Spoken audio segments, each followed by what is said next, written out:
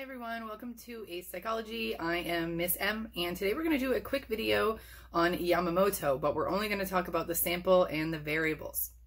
Okay, so um, chimpanzee, altruistic, helping behavior, um, that's what we're talking about today. And we have five uh, chimpanzees.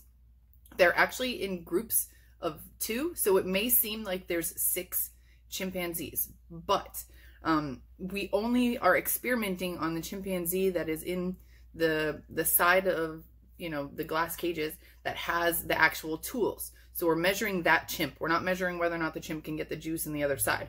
So in saying that, um, we have pairs of mother baby chimps, Cleo and Chloe, Ai and Ayumu, and Pan and Pal.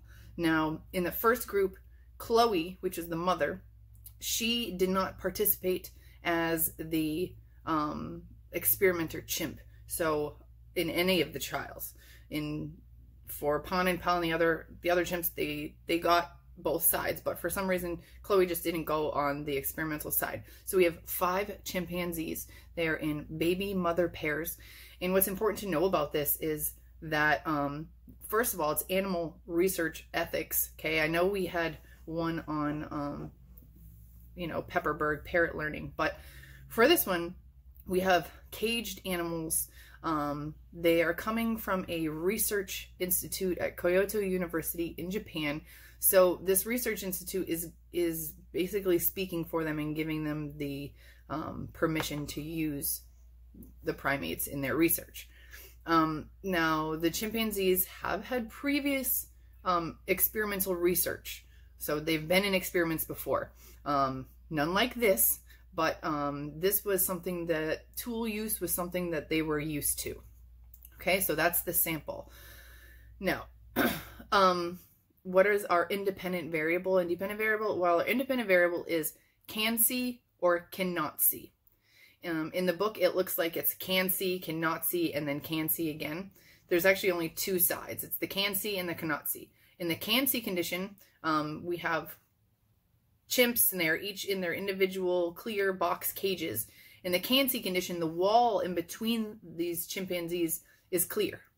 Okay, there's a hole that they can see through, but still the wall is completely clear. So they can see everything that's going on on both sides. Okay, um, now remember the task is this juice box that they have to get on the other side. So um, we're looking to see if, if the chimp can see what the task is, will they give them the correct tool? Remember, they could only give them either the stick or the straw. Those were the two um, basic tasks that required stick or straw. So for instance, if the juice box was in a box like maybe eye height, but um, they couldn't reach in, it was just holes. So they needed the straw to stick in to drink the juice. Um, or if they needed the stick, then the juice was just like arms reach away, we couldn't barely reach it. We needed a stick to go in there and kind of pull it back. Okay. So um, we're basically measuring whether or not they offered the correct tool. So that's our dependent variable is the offering of the tool. And whichever tool that they offered first counted as correct or incorrect. Okay. So again, um, we are in a can see or a cannot see condition.